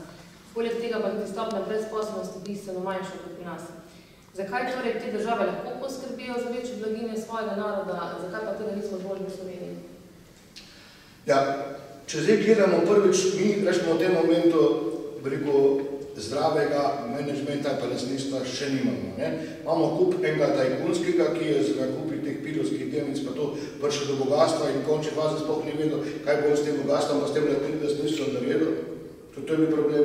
Na lahko način je dobil kredit v banki, pokupil uh, certifikate, uh, dobil ogromno premoženje in pojma nijemo, kako to, kako to delati. Ne? Uh, to je en problem. Ne? Uh, potem za mene glavni problem je to razkošno podeljevanje kreditov, ki nikoli niso privrnjeni. Ne? V bistvu vzel si kredit, da ti je firma delovala, 10% tega si dal, da si zgradil vilo pa jahto na morju. Ne? ko pa nisi mogel več to odplačati, še po firmo stečaja, pa ki si pa kljub temu imel to premoženje. Eni so na račun tega tudi privatizacija, ne, da je brez fičnika v žepu postal lastnik preko tega, da je kupil firmo in potem za izčepavanje podjetja počval kredite, to je unikum, ki je možno ne samo v Sloveniji ali kjerkoli. Ne. In tle v bistvu je država absolutno padla na izpitu, ker ti državni uradniki, ki bi morali v teh življenjih kontrolirati, niso opravili svojega dela. In tle pa je ključni problem. Ne? Država kot inštitucija, ki bi morala zagotovati pravno in socialno varnost, nam ne deluje. In se je ta zgodba že tako povampirila, da me je v bistvu pri mojih letih že strah, kaj bo v bistvu čez 20 let, odnosno mogoče še prej za zaposlene, končni fazi tudi za moje, pa za vaše otroke. No, glede del verjetno strokovna javnost bi na to odgovorila, to je izhodično vprašanje, ko mislim, da kaj je to križi. Dejstvo je, da je dodana vrednost v Sloveniji je nižja. Ja, tega je, tako, vzroki so tudi iz te strani, ker se je pač, namesto da bi se prelil v znanje, v razvoj, v razvoj trga, marketing, te pravilne podjetniške oblike, se je pač prihvatizacija zgodila in so pač zadeve. In so šle znatne milijarde v to zadevo uh, in pač treba se odločiti, da to presekamo in da gremo popraviti, potem bomo pač ja. zamudo nekje ja. probali prideti čez noč. To seveda ne možemo. Uh, je pa, ne vem, uh, os, da vem, jaz pravim velikrat tako, da vsaka sprememba na nek način sistema, ali je z vojno, ali je tret, gre se pa v bistvu samo, kdo bo vzel, pa kar kakšen, če boš.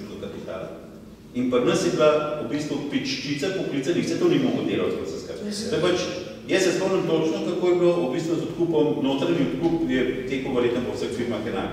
Se pravi, management je točno vedel, da je zdaj njegovih pet minut in je naštimal v bistvu zaposlene, pa hvala, damo Faber, kar se smo jo gradili, Madonna, se spomnim, da smo na morje za naše prikolce, alune, hišče smo delali, pa vdarniško dejavnost, pa namo, da je to nam, kar nam voluharjem stil. Ne, to mora biti naše. In smo se odločili, pa smo kupili svoje delnice. Ampak sam direktor je vedel, kak, zakaj pa kako. In kmalo so začeli, seveda, ker je šlo sranje, pa gor pa dol vrednost ni bo nobene, kdo jih odkupal? Predvsem oni so jih odkupali. Ali pa se zdaj ukidam še zmenu, da je on nekaj kupil vsega, pa ti bom jaz nadpeljal, vse bomo ta zadeva tako. In, in, v bistvu, in dejansko ni ta podjetniška iniciativa je bistveno prepozno zakrožila po vse skupaj. Zato so tudi veliki sistemi propadali, pa noben ni bil pri nas nič kriv, to je narobe. No, vse tle je problem, ki se spomnim, ne vem, če se ti to spomniš, enkrat je bilo rečeno, ali je bila ponudba iz strani eh, ameriških eh, upokojenih menedžerjev, imajo oni eno organizacijo v Ameriki, da bi prišli v deželje vzhodne Evrope pomagati v bistvu voditi veliko sistema. In takrat se je celo menda v Sloveniji nekdo, to govorim po spominu, nimam benih podatkov, pogovarjal, da bi del teh ljudi prišli sem da bi jim te pomagali. Evo, če se bi to naredili, verjetno do teh zgodb ne bi prišlo, pa bi mogoče zadevo tega speljati. Ko smo se pa v bistvu učili na, na, na, lastne, na lastne zgodbe in take, posledice tega, da imamo danes 40 milijard pufa, ki ga bo treba odplačati, ne? učinki pa minimalni, praktično imamo tle eh, zgrajene avtocestni križ, železnice nismo nič, vi morate vedeti, kako je ta država ne bo gledana. 95. leta ste bila sprejeta v istem mesecu dva zakona. Zakon za razvoj avtocest in zakon za razvoj železnice. Avtoceste smo radili, železnice nič. Leta 90 smo ugotovili, da so človeške železnice rabile 4 milijarde dolarjev, da bi zadevo saniralo glede na stanje, ob tem, smo pa vozili rekorde v prejšnjem sistemu. To je bilo ogromno potnikov vsega, ampak je bila železnica vedno socialna ustanova, država je dirigirala cene, govorim za Beograd, ne? vedno je bilo 30% manjša cena tovora ali pa potnikov. Konkretni primer, vlak Trebole Ljubljana je danes 5 evrov, takrat je bil koštov manj kot je časopisni izvod delabil. To je bilo vse pocenjeno. Rezultat tega je, da imamo danes katastrofalno stanje. V teh 20 letih je bilo samo milijarda pa pol vloženo v, ne v razvoj, ampak v sanacijo stanja. To nas še čaka, a teh 40 milijard smo dobili, ki zginila ne znamo kam. In nimamo nič. Mi se sploh ne zavedamo tega, v kakšnih godli smo, ker smo ta denar dobesedno zapravili v tri krasne. Zdaj bi se ponovno navezala na avtorico, ki ste že omenili, na Beverly J. Silver, ki je v svojem intervjuju povedala, citiram, da zaradi moči kapitala, ki je vplival tudi na sindikate, so delavci izgubili zaupanje v njihovo delovanje, konec citata. V Sloveniji pa naj bi sindikati igrali nedvomno cehovsko vlogo. Kakšen je vajen komentar na vse povedano? Cehovsko vlogo. Vse tle, tle zanimivo. Ne? Zdaj, če se vrnemo zopet nazaj. Jaz se spomnim leta 1975, nekje bil, so bili narejen samopravni sporazumi o plačah vzeli smo nemški model, preko vso razmena, ko sem pozval, tako prišel kot mulc, dobro narejen. Predeljeval je v bistvu, da bi v Sloveniji šlo se ne glede, v kateri firme je, imamo približno enako plačo in preko te čestilke, to, kar imamo danes problem, ne, enako, krat je bilo to še vse, preko strokovno, znanstvo je narejeno. Ampak kaj se je naredilo? Ko je bilo obdobje krize, je pa ta plačni sistem razpadel. In v bistvu Imeli smo samo še par konkretno elektrogospodarstvo, ono nikoli ni trpelo nobene krize. Jaz osebno, ko smo začeli to boj, borbo na železnici, sliku, sam podpišem, reči mi, da bo šlo se na železnici, imamo enako plačo, ko šlo se pravi, pa takoj prekinemo zgodbo. Do tega nikoli ni prišlo, se pa oni so imeli en sladki život, še danes ne način, ga imajo, to vemo, šolstva ali pa karkoli, ne. Vse drugo je pa v bistvu šlo, so grunt in razni parih svetlih izjem eh, je zgodba takšna, kot, kot je vlada, ne ponavljam. Tako da zdaj normalno, seveda, Štruklj bo svoje preko brano, normalno, z njegovega vidika je to popolnoma razumljivo in normalno. Eh, oni, da bojo svoje pozicije brali, govorim za elektrogospodarstvo, je z njihovo pozicijo normalno.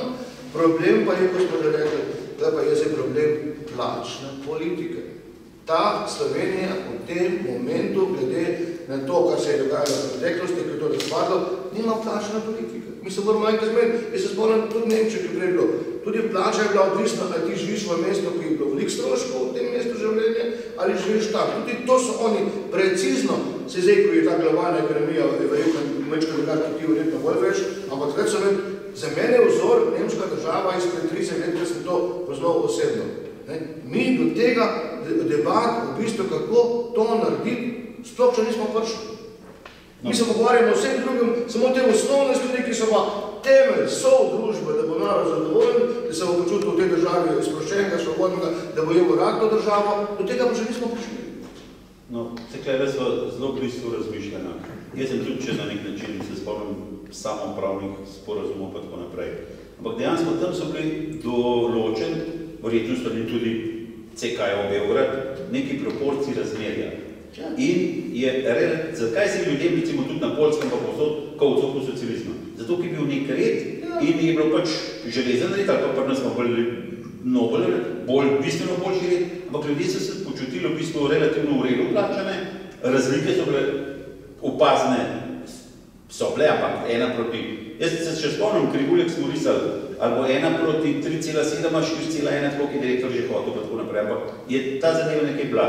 In seveda, ko pa ti to porušaš, to ni več osnova, se pa dejansko cehovska združenja, Fides je vrhunsko cehovsko združenje, pa jaz, Kodar Koštrinu, neč ne zameram, kapo dol, ti se boriš za tiste, katerih se čutiš sam pripadnik. Ampak klele bi pa mogla biti država, v smislu varstva vseh državljanov, pa reči, aha, plačni sistem mora biti temeljit na poštenju in na pravilnih razmerih, In mi, naša dožnost je, da skrbimo za najmlajšega, da bo preživel, določimo minimum, ki je še spremenljiv, lahko imate več, ampak tisti bomo pa progresivno tudi obdavčili, oziroma vračajte, če imate več v razvoj, v, v, v, vemo, kjer je vrečave, pa vse in bo cela družba kot taka lahko na temu rasta. Pa nas je pa pač postal zadeva za moje pojme privlačna za tiste, ki si lahko na podlagi svojega imidža, položaja, stanja, položaja, položaja, ja.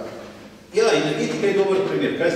Se predstavljamo, da recimo nuklear, da bile plače slabe, živ. To je prevelik, prevelik igranje, skrkoli. Tudi doktor mora imeti, recimo vrhunski kirurg, da ima, ne vem, samo tri uri neto plače, ali pa kaj taka, ali pa če jih ima pet.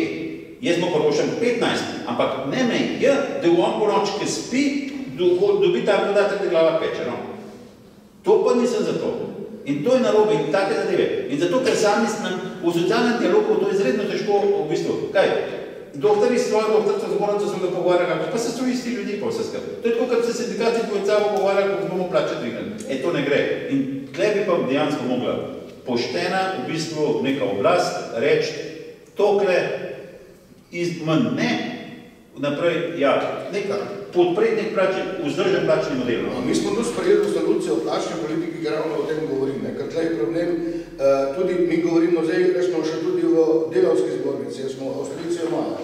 No, so pa me za na koncu vprašanje, se vas kaj vi se trdim. Ja, no, sej, to smo že, jaz sem to kot predsednik sindikalnega foruma, smo to že imeli izdelan sistem, uh, sam dejansko, ko smo že videli te slabe izkušnje sveta delavcev, pa to, pa po kakšne kriterije bi dejansko ti ljudje potem lahko parirali v gospodarski zbornici, je tle veliko vprašanje, ampak glede na situacijo sindikalizma pa to eh, vidim zopet v tej zbornici mogoče ena od dodatnih moči, da bi to globalo, kot smo rekli, rešilo pri delovstvu zaposlenih. Zdaj še pa še za konec, eh, malo razmisli, kaj bi moral biti zastopnik delavcev, ali bo povedal tudi veliki angliški sindikalist, Anna Rimbaon, citiram, Zastopnik je človek, ki ravna v določenem položaju zelo podobno kot v enakem položaju ravnajo ljudje, ki jih zastopajo. Skratka, skratka mora biti eden od njih. Se vidite v tej tezi? Jaz sem to vedno bil, tudi izobraževal sem moje naslednike, da, da je to to, ampak nažalost, očitno to je dano enemu posamezniku, ali pa dvem, ni pa to, ker, ker tle problem, ne? Ni pritiska eh, sindikalnega članstva na svoje predstojnike, da bojo v bistvu res zastopati. Ampak se jih končni fazi skoraj že bojijo, ali sploh ne vedo, kdo je njihov zastopnik. Ne? In tle je dejansko velika krivda o neosveščenosti delovstva, da on sam ne pomeni nič, ne? združen, povezan v sindikat, pa to pa lahko eh, se izbori to, je, to je znana stvar, to ni nič novo na tem svetu. Uh, in me prav čudi, da pri tem internetu, pa pri vsem tem znanju tega sveta, ki danes na voljo, uh, to delavci še niso, uh, še niso sprejeli. Jaz večkrat rečem, da smo na nek način preveč salonski sindikati. So storili? Ker če ti nisi dnevno v kontaktih, počas si odstojen. Generacije verjetno pred mano so si pač za sindikaliste postavljali relativno ugoden finančno materialni status. In marsikdo se je v bistvu, ko je to videl, uh, si je pač bil na nek način sposoben in prišel do tega in preveč je tega, da se to ne spusti iz rok. Mi zdaj pripravljamo tudi nov statut zveze in mislim, da bo ostal noter, da se mandat najvišjim funkcionarjem v bistvu lahko si samo dvakrat izvoljen. To se meni zdi prav, kaj ti, ko enkrat nekam prideš, prvo, da prideš, moraš pokazati, kaj znaš. Potem, recimo, prvi mandat gradiš, potem pogledaš, če si dobro zgradil in ko vidiš, da je relativno v redu, se tega, če že tako zaminajo, ali pa so predlogi novi, ko pa si ti tam gor, pa zelo hitro se začneš uspavati po vse živo. In takrat začneš stagnirati po vse živo. Res pa je, če je tisti človek, ki je bil recimo dva mandata, odličen, dober, ne bo verjetno noben organizaciji problem ga v bistvu pametno vrstiti v nek sistem, ali bo svetovalec, ali strokovni sodelavec, ker konc koncev, če smo čisto odkriti, sindikalna funkcija je pač funkcija. In boš vedeti, ko enkrat na ta dostopaš, zdaj sem, jutr mi ni. Jutr se lahko, da vem, nekaj narobe narediš, se bojo ljudje ustaviti do zamena. In zato je tudi plača relativno primerna, ampak s tem, da si za določen čas, za čas trajanja mandata uh, in prav je, da v bistvu, da zmeraj mora priti sveže kri, novi, mlajši, ker jaz se vidim, recimo, pri nas sprememo generacije, kakorkoli, uh, v našo hišo prihajajo mladi po vse živo. Razmišljanje, ne vem, ena 60 let starih, moje generacija, pa jaz sem nekaj manj, uh, pa starih 27-28 let. Ja, mislim, že sam kontakt do ljudi, pa vse skupaj, oni so danes družba, informacijska družba, Facebook, Twitter, uno, tretje, vsa živa orodja, pa vse skupaj informacije se širijo, pa nas pa eni sanjajo, jo, treba je nakladal našega časopisa, pa vse skupaj, daj nekaj mis časopisa, koga pa danes še bere, mislim, bere, seveda se nekaj, ampak ni to to, ni novo in temu se treba prilagajati, no, kakoli. Zdaj, če lahko za konc, no, bom rekel, kako pa vi gledate, mi večkrat to podarjamo, pa mogoče tudi zato, ker sindikalizem pada, pa vse živo, ampak vse, sindikati v Sloveniji pač delamo, gradimo socialni dialog, delamo, delujemo, ESS, bipartitni socialni dialog na državni ravni, pa vse skupaj. In plodovi tega uživajo vsi zaposleni v Sloveniji. Tudi koncev ZDR pa penzijska konodaja sta prot ekonomsko-socialnih odnosov v Nagregorčičev, ki se pač pogovarjajo, pa vse živo. In marsikdo, ki se mi pogovarjamo, prav, to na zakaj bi te pa jaz plačal članarino, če imamo vse tako, kot vsi ostali. In, in ponovno, če oni najbolj kritizirajo, da sindikatne članarki pa vse skup. Uh, in zato je v Avstriji mogoče delovska zbornica pač ena od rešitev, ker poleg, da si član sindikata, potem pač vemo, kako so, gre še v bistvu en del od vsakega plače, vsak delovc v Avstriji plača še, mislim, da polovično zadevo za delovsko zbornico. In mi v bistvu začenjamo razmišljati, da bi dejansko predlagali, ko bo neka pametna vlada, ki bi to razumela, da je pač tudi socialni dialog nekaj košta in dajmo vsi prispevati za to, da ker žanimo vsi, v bistvu vlagajo pa samo eni. No? In konc koncev je nepošteno, mi imamo sicer gospodarska zbornica je na volonterski osnovi, za da se na volonterski imamo še določene zbornice, ki so pa imajo javna pooblastila in uh, dejansko uh, in zaradi javnih pooblastil prihaja finančna sredstva noter in je uh, nepošten položaj. No? Kaj vi menite? Lej, kar se tega tiče, to sem že jaz kot sindikalist, ne, tudi sprašval, ko smo to zakonodajo, stekel, naj imajo plačano tako samo tisti, ki so člani sindikata. To niso nikoli pristali, ne, danes me jasno zakaj. E, tako da, kar se tega tiče, je to, je to absolutno, preko, če bi ta delovska zbornica bila, bi to pa potem zakonsko obveza vseh zaposlenih, da, da participirajo, ker dejansko, da, da se bo nekdo preko šlepo zdravim, en preko se angažira, plačuje pa to, potem bo vsi potegne ven. To se potem izrodi in to se je dobro tudi videlo. Torej, z tega vedika eh, nam je interes, eh, da imamo zdrave in močne sindikate. Sindikati so praviloma močan ali pa najmočnejši stebr civilne družbe. Demokracija brez civilne družbe ne more delovati. To je jasno. želimo, da so spolitizirani v tem smislu, da ko je desna vlada gre na ulice, ko je leva vlada se vam šlo tiho, ne, naj bojo preko sindikalno ali pa politično predeljeni po nemškem ali po avstrijskem modelu, samo to verjetno bo še čas. Ne. E, če bi dejansko, in verjamemo do prihodno bojo, da bi sindikati gledali, ali je ta vlada poštena pa normalna ali pokvarjena, ne pa ali leva ali pa desna, potem bo ta zadeva tudi hipoma razrešena v tem smislu, da se ta zadeva razreši, kajti kot sem že rekel vodoma, mene je strah za to Slovenijo, strah me je za ljudi, če se bo zadeva odvijala naprej. Jaz da vidim, da, da skupaj za sindikati pa močno delovsko zvezo v SDS-u pa lahko jutri ponudimo eno rešitev v tej Sloveniji. Tudi meni je žal osebno, da danes niso prišli predstavniki sindikalnih central, lahko bi ta debata bila še veliko bolj produktivna, mi bi lahko potem tudi, tle bomo naredili ene zaključke, bo, bo Mojca napisala, boste dobili, tudi vse sindikalne centrale bojo dobile in bodoče, če bomo to, odnosno verjetno bomo šli, upam, da bo interes še naprej, da pa res naredimo tako na, na, na bazi, mi lahko potem tudi danes vam ponudimo, da če vi ne morate z enimi zakonodajnimi rešitvami priditi nekje skozi stranke ali pa poslanske skupine, da tle lahko preko delovske zveze to, ta vredil imate pa ta koridor. E, mi smo za tržno ekonomijo, mi smo za poštene odnose, mi nismo za privilegije, predvsem pa nam je cilj tudi, da preko, korupcijo, ki uničuje to državo, skupaj s pomočjo sindikatov na način omejimo, če že ne moramo ostati. Tle, ti garantiram, da dokler bomo mi tle zraven, da bo ta zadeva, kako se rekel, in tle, tudi mislim, da ima delovska zveza močno pozicijo. Tudi, ni, ni na, da, da smo to dosegli, pol veš, da je to bila kar borba, ker marsikdo se je pri nas opira, odnosno, ker bi minimalno plača, se se za glavo vreda, da se zaveda, kaj to pomeni, jaz se tudi zavedam, da je to edina možnost v tem momentu, da začnemo te zadeve pozitivno reševati. Ne.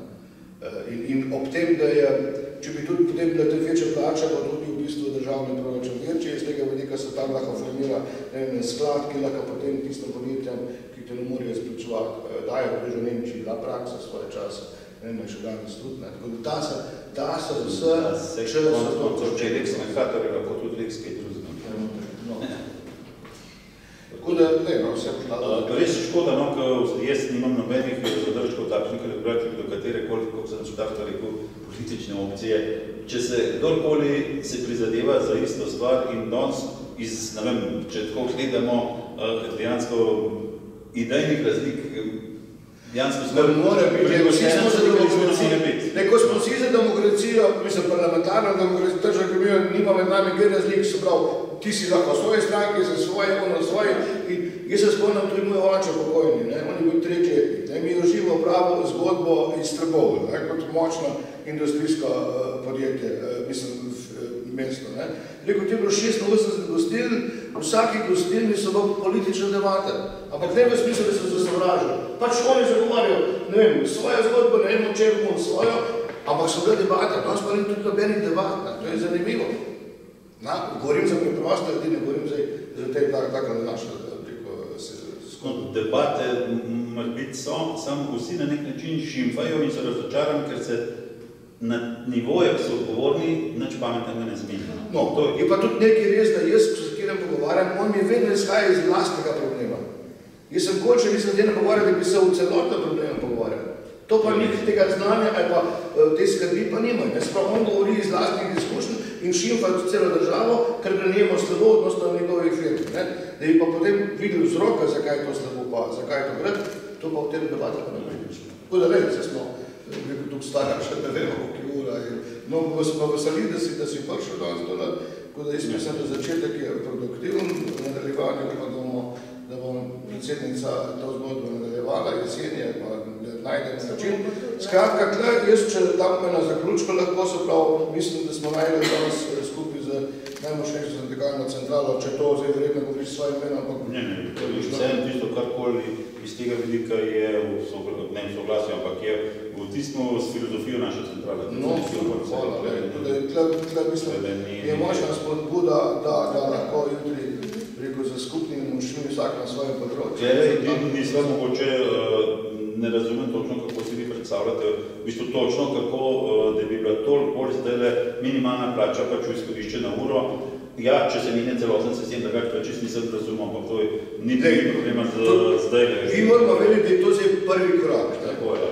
Prvi korak zaradi tega, ker to imajo vse države OECD-ja, imajo vse države Evropske unije, imajo zakonsko urejeno minimalno plačo, ima Amerika kompletno, ne vem, koliko poznate Ameriko, v Ameriki imaš minimalno plačo 8 dolarjev, pa še neki na zvezdni ravni, potem ima pa vsaka država svoje minimalno plače, južne, in višje, vse imajo više potem kot te, ne? ampak v New Yorku je že minimalna plača skoraj 15 dolarjev na uro, celo ene občine grejo že zdaj, odnosno njihova mesta grejo na minimalno plačo, ker tudi tam sindikalizm verjetno usiha in se pametna politika zavira, da pri tej vsilni moči kapitala Ameriki, ko imajo blazne dobičke, da lahko ta račun dviguje plače. Ne? Kure, to, to je urejeno in mene osebno vedno boleli, zakaj pa klas pa Slovenija ena čudna izjema v negativno smer. Ne? Sej lahko smo v prehodnem obdobju tudi razumeli logiko te minimalne plače, ki je rešvala en problem velik. Ne? Samo na nadaljevanju moramo pa to zgodbo narediti. Ne? In uh, jaz pričakujem, ko sem enkrat, uh, to bo vse odvisno, ali bo ta stranka na oblasti ali ne. Če ne bo, bomo lahko damo predlog zakona v parlament, ali bo sprejet ali ne bo sprejet, ne. Ampak bi pa predlog bi dali ta zakon v parlament, ne, pa le naredili v bistvu eno res strokovno debato za zbornico, za unem, da bi videli, kje so te skupne točke, ne. Končni fazi se lahko tudi potem zmenimo, je to urna postavka neki manj, to govorim zelo nebamo, da ne. Ne vem, jaz bom prvi ponovil, kakorkoli že prve izjave novega, kaj predsednik gospodarske zbornice Slovenije, ki je pač direktor BHS-a, mislim, da so spodbudne in temeljijo na temu, da je treba konsens, dialog, da se samo tako lahko izmenimo. Iz takih pozicij na nek način je dejansko treba uh, graditi in se mogoče malo več časa porabiti, ampak da se dogovorimo, no, da je nam mora biti v bistvu, če imamo podoben skupni cilj, se ne smemo skregati že v štartu da in zanemarati. Vsi se borimo za tole. Dajmo da je korak pa dva nazaj stopati, pa videti, pa mogoče da tudi kaj požere, zato, pa, ali pa ima narobe, pa bo še v nadaljevanju ljudima, pa kaj tak, no ne pa da se a priori en drugega namara, mislim, to je meni. Ne, ne, to, to je, da se to dogaja, to je vzdržno, to ni kulturno, ni civilizirano, ne. In v bistvu tudi spodbudne za debata enih delodajalcev, ki ugotavljajo, da so plače preniske, da je kupna moč prešla in da bi gospodarska rast v Sloveniji bila večja, če bi tudi kupna moč prebivalstva bila večja. Torej, z tega vedika so no, signali. Glede, uh, zelo veliko delodajalcev prav, da so plače preniske, da je kupna moč bi bila mogla biti večja, če bi bila večja, bi tudi mi več delali, pa tako naprej. Ja, ampak veste, država je tako hudičev draga. Zdaj se pa zmenimo, koliko hudičev drago državo pa mi dejansko zračunajmo vse potrebe države, In država ne tudi, ne vem, pojmo kar zdravstveno, pa še kakšno blagajno, pa vse skupaj pogledati, koliko denarja neopravičeno odteka zaradi korupcije, prijateljskih eh, povezav, pa tako naprej. Grdo rečeno, jaz sem bil sicer zdaj par let nazaj v Istanbul, pa sem šel kupiti aspirin. In nisem mogel govoriti, da mi bil 3 evre. E kako je v Istanbul, pa Ankar, eh, v bistvu Istanbul ima, pa Ankara ima ta cene više kot Ljubljana. Seveda, sam je kupil sicer na milijone vagonov tega aspirina verjetno, ampak pri nas je pa, ne vem, kdo je zadnji kupil aspirina, tako je tako, ker ta je prosto prodajati, ne vem, 8, 9 evrov znaj. Ja, ja, in tle je problem, no. in komu je to interes? Seveda, verjetno tudi Jankoviču, pa lekarni Ljubljana, pa tako naprej, da imajo svoj pot, pa stalost, pa um, pa tre, pa kaj zveko, film se s tem ukvarjamo vse skupaj. No, se, in to je narobe, in tle je treba sprejeti zakonodajo, ki bo rekla, centralna naročanje ortopedskih pripomočkov, ne vem, zdravil, unga, tretjega, na kvalitetni nivo pa vse živo. Kdor pa se hoče iti nadstandard, ne, da imaš ti koncesijo, pa ukrajdaš na stran, pa gradiš, ampak koncesija taka, lahko delaš privatno prakso, pa vse živo, samo se boš sam sfinanciral, vse skupaj ne boš pa meni te zgaro, pa vse živo. Zato tako, da in tam grejo, pa kle 100 milijonov, pa tam 100 milijonov, pa tako naprej, in je... No, vse, tle, tle sem pozabil, mogoče povedati, da, da, da, tle imamo program stranke, ki ravno to govori kot en to, to, največji problem v tej državi. Ne? Tudi v bistvu, če mene vprašaš prvejka plače enih menedžerjev v državnih podjetjih, ne? Da ima lahko danes direktor bi lahko 200 tisoč evrov letna plača, pa je to državno podjetje, predsednik vlade pa 60 tisoč, to je za mene popolnoma nenormalna situacija. Ne? In, in tlebo, no in, in tudi ta dialog o minimalni plači mora iti sporedno s dialogom zmanjševanja obremenitva dela. Kajti potem bomo to naredili. Če bi bilo delo enako obremenjeno, kot je danes, do tega nikoli ne bomo prišli. Se pravi, tle je garancija, da se gre v zmanjševanje obremenitev in potem preko del ali pa vas gre pa v plače, nekaj plače, v zvedika tega in to se bo potem dal zelo hitro narediti. V 9 milijardah eh, evrov državnega proračuna v tem momentu jaz najdem milijardo, ko se zafrčkal trikrat.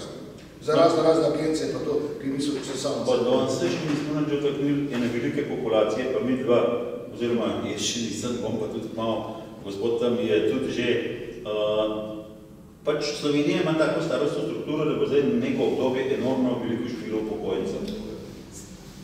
Pa se so valjda to naši starši, kolegi, prijatelji, pač smo taki, da treba za neko skrbeti, če treba za časen, ne vem, sklad za to narediti dodatno, zagotoviti vire, poleg proračuna že neke stabilne prihodke iz nekih dejavnosti, pa so skrat, dejansko to treba, ker je sramota, da nekdo za 40 let dela dobi manj kot 500 evrov odmerjeno pokojnino. To je kriminal. In jaz pa vem, da bo upokojencev, če je zdaj 700 tisoč, ali koliko je 607 tisoč, uh, se pravi, bo mogoče če 10 let pa 750, 700, ne vem točno koliko, da je ta zadeva, pač krivulja, ampak po nekaj smo pa so se upadil, pa se skrat, ampak ne moramo pa zdaj v Auschwitz poslati pa Madonna.